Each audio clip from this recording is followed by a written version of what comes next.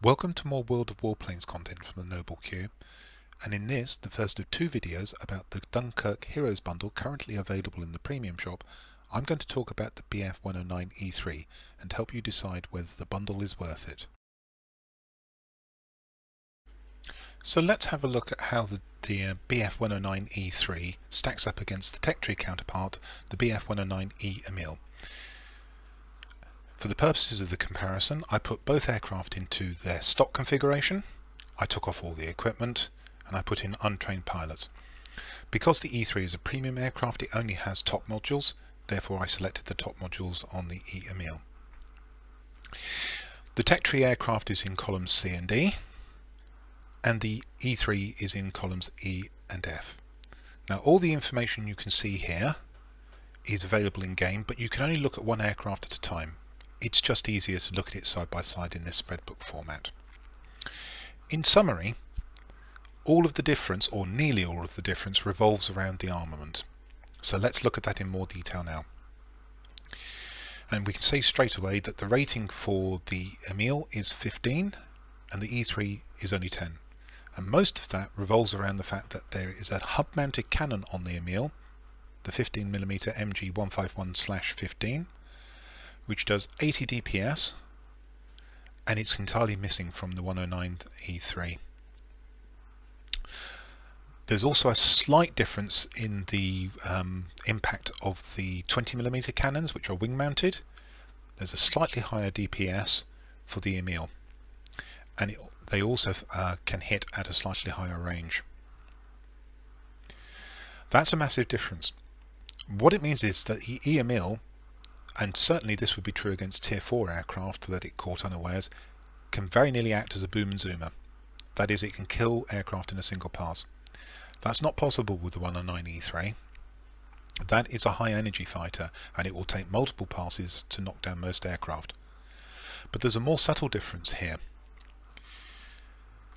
At a distance of 1903 feet, the E3 can only do 2 times 60 DPS, 120.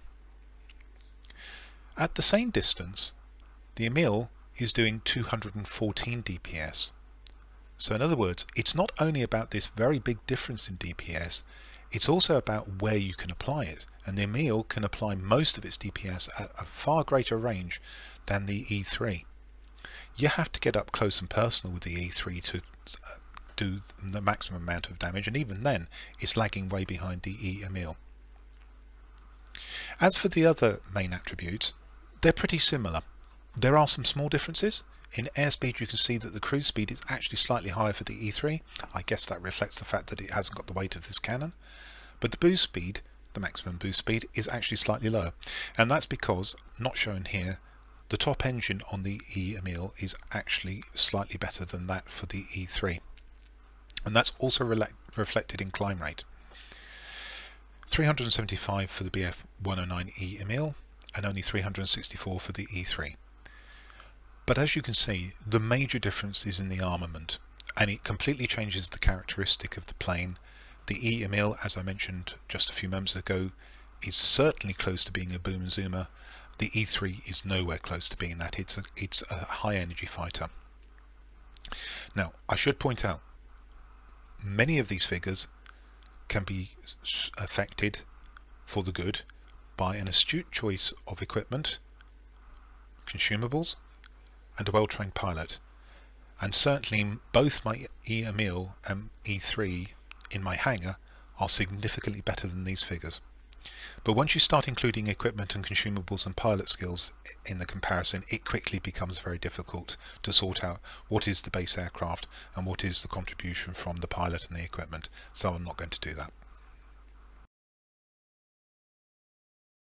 So that's the E3 on paper, but what's it like in my hangar? Well, I've built the E3 as a turn fighter, which means I have a lightweight wing frame and a lightweight power unit on it. An equally valid build would be to make it a pure high energy fighter, in which case you'd probably drop the lightweight wing frame in favour of polished skin and the lightweight uh, power unit in favour of a combined injection boost system.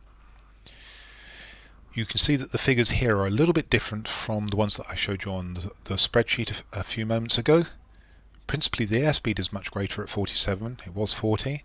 The maneuverability is a lot better at 80, it was 68. But the survivability is down by one point.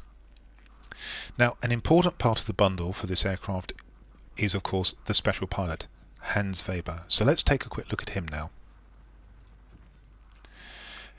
Hans Weber has special skills. This one, the BF-109E3 Master, increases airspeed and damage by 10% and it only takes effect on the BF-109E3. Remember that if you move this pilot elsewhere because this becomes a dead slot. The other skill is Nosedive and that increases damage by 10% and the chance of setting an enemy aircraft on fire and causing critical damage by 50% when firing with your guns. There are only forward firing weapons on this uh, plane and it takes effect when the aircraft speed approaches maximum dive speed and pitch angle exceeds 45 degrees. Well, that's useful if you're in a dive, but the situations in battles are such that you can never always be in a dive. So this skill is nice to have, but it won't apply throughout a battle. So here we are on the Scorching Sands map. It's the invasion variant. There are five sectors laid out in the five spots of a die shape. There's a central garrison, flanked by two repair air bases and two further garrisons.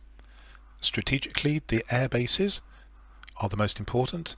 Not only do they confer the standard three resources every five seconds, but they have three other characteristics. They can be a spawn point, they can allow you to select a new aircraft of the same tier if you want to change mid-battle, only after you've been destroyed of course, or it allows your aircraft to be fully repaired, unlike the field repairs which only ever repair part of your aircraft. Tactically, the central garrison is the gateway to all other sectors, which makes it important, and the other two garrisons are make weights and only become important where a battle is close and they tip the advantage to one team or the other. If we take a look at the order of battle, we can see that I'm top tier in my BF-109E3 we have a Junkers 88A bomber and a rather handy XFL-1 with a nasty 37mm cannon in the hub. And we have four players in Tier 4 aircraft, an I-17, an AR-2 bomber, an AR-197 multi-role, and an HE-112H2 bomber. Lots of bombers. And these are all good aircraft. On the enemy team there's a P-40, also a splendid aircraft, what I take to be a World of Tanks player, M46 Patton with 105mm howitzer or gun, in a Focke-Wulf 190A1, a PE-2 bomber, four air players in Tier 4 aircraft, an F-2A, which sadly is not very good, a Bf-109B, another Heinkel 112H2, and a Blenheim F, which is specialised. It's quite an interesting matchup, and we'll see how this one develops.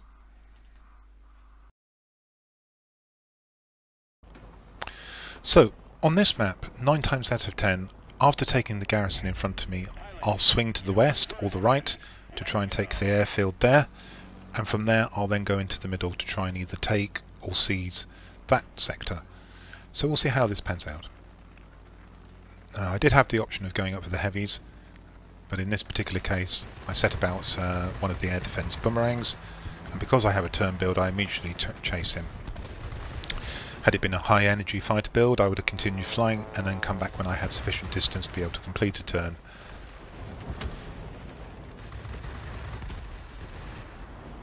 And having disposed of the boomerang we have the garrison which we're first to get.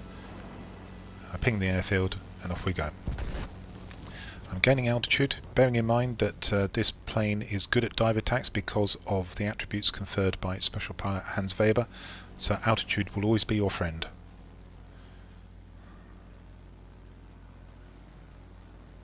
look up towards the air defence heavies. They're flying away from me. The fighters are below me. There's one in a low energy configuration and I shoot it down. I swing around to engage the other fighters. Find another one that's nearly stalled out and by killing that we take the airfield. But now we're two sectors uh, each, and the enemy has taken the tactically important central garrison. It's a good habit to pick up repairs. I wasn't particularly damaged there, but why take less health than you um, can have to any particular uh, sector?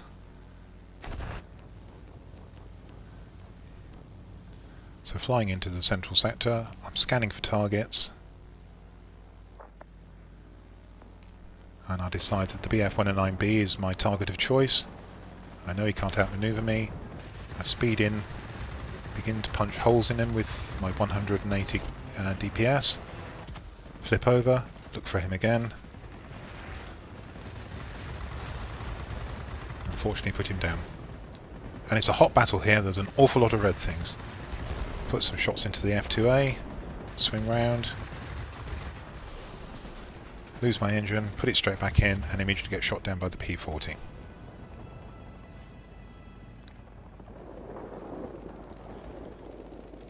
So, just before getting shot down, my team, with my help I guess, had secured the central garrison. It's important to try and keep that, so I'm heading back there. There's a target of opportunity, the XP-44, so I dispose of that on the way.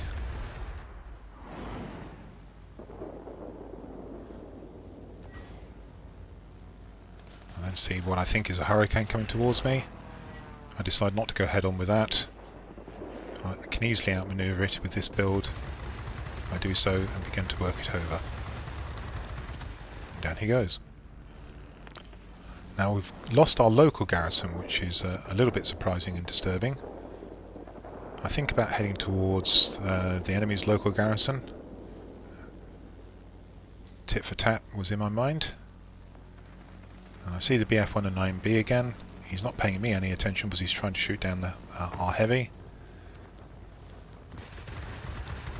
And I begin to work him over as well, and down he goes a second time. Very important not to get tunnel vision when you're trying to shoot down an aircraft, and that's hard. The only way of doing it is not to spend too long on the tail of an aircraft and you will see me from time to time, particularly in furballs, I will shoot at an aircraft and I will have an opportunity to kill it, but I'm concerned about being jumped on by uh, an enemy aircraft, so I will break off and engage elsewhere if I have to, or re-engage my original target if that's possible. So we swapped local garrisons now. I've shot down the Focke-Wulf and I'm scanning for further targets in this tactically important garrison. And again, I choose not to go head on with the Hurricane. Swing round, easily outmaneuvering the Hurricane with my build, and down he goes.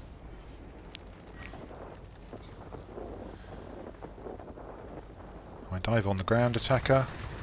This wasn't a steep enough dive to activate my skill, and as I've said previously I believe, it is pretty hard to get that skill to activate. And when you do activate it, you're in such a steep dive and going so fast, it's very easy to miss your target. And this is a close battle.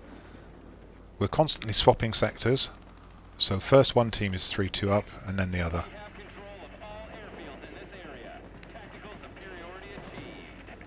I help chase down the Blenheim F. I hope I wasn't shooting at my own heavy there. I might have been.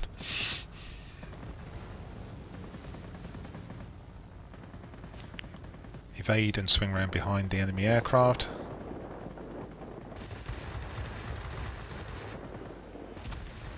He very kindly dives into the floor for me.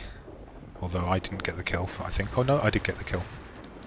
Well, that was kind of him to donate his hit points in that fashion.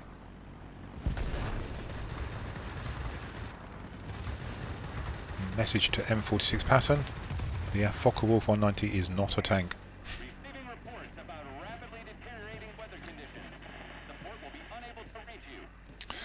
And now my team is beginning to establish the upper hand. I go looking for opportunities at the edge of the sector. I find one.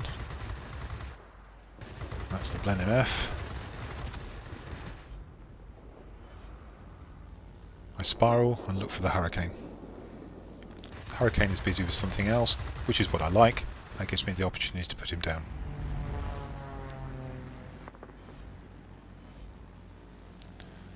Spin back towards the centre to see if there's work there that needs doing. There's certainly a ground attacker down below.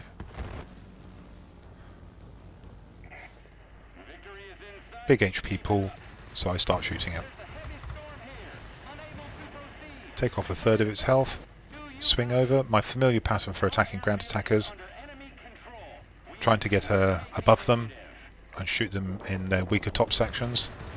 And also avoid bomb traps. I get 75 assistance for that, I didn't actually kill it, so I swing around looking for further targets. I do believe one of my own team was shooting at me there. Fortunately he stops doing it, so I forget all about it very quickly and start working over the Elbisha.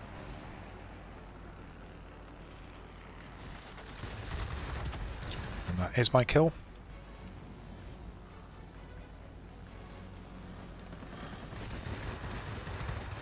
The F2A flies underneath me.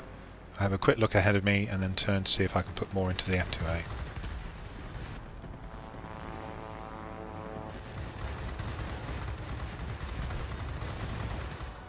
Here's our friend in the Focke-Wulf again.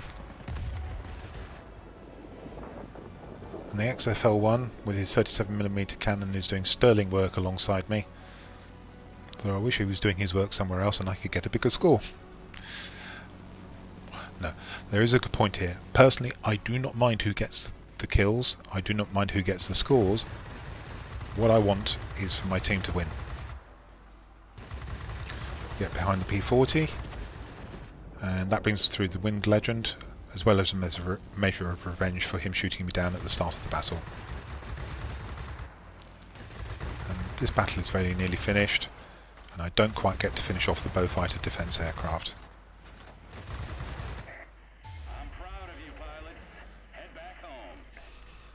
And this isn't too bad a battle for the E3. The armament is not spectacular, so 15,575 personal points is pretty satisfactory. So, taking a look at the results of this battle, we can see in the middle it's a 4 chevron battle, or if you prefer a grade 2 fighter. 152,187 credits all silver gross, and of that nearly 51,000 was from the premium account bonus. If we look in the message box we can see that 925 credits were required for repairs to the aircraft as it was destroyed once. Nothing for consumables as I use them prepaid. Experience 3166 with the premium account bonus and 158 free experience also with the bonus. No tokens on this occasion, but a notable medal in the form of a winged legend. If we look at the personal score tab, we can see that uh, just quickly opening up the box, we got 12 points and you need 13 for a Hero of the Sky badge. None of the class specific missions were completed. We can see that uh, we were one short on destroying aircraft when defending, a little bit further away with the aerial targets, and the capture points um, also a little way away. But one more uh, aircraft there, and the Hero of the Sky badge would have come. 15,575 personal points, 4 sectors captured, showing that I put the aircraft about a bit in that battle, 14 air, uh, aerial targets destroyed, 303,337 damage to aerial targets, 24 critical hits. With the armament on this plane, that's not too bad. Destroyed once, capture points 520, and they were split uh, 280 for defending and 240 for attacking. On the team score tab, we can see that was enough for first place on the team, both by damage and by chevrons. Good contribution from the XFL1 and some useful contributions uh, on the enemy team as well. So now we have to address the question of whether the BF109E3 is worth it. Well, we saw in the spreadsheet that in its stock configuration, the aircraft, certainly in terms of its armament, is far inferior to its tech tree counterpart, the BF109E Emil. Does the addition of good equipment and the special pilot Hans Weber compensate for this? Well, one of the skills that Hans Weber brings is the nosedive skill, and in my opinion, you'll be lucky to activate that once, twice, three times a battle. So that doesn't really figure. The other skill, the master skill, increases the damage output by 10%, but that still doesn't bring it anywhere near uh, the same potency level as the BF-109E Emil. Straightforwardly, the Tech Tree aircraft is far better than this one.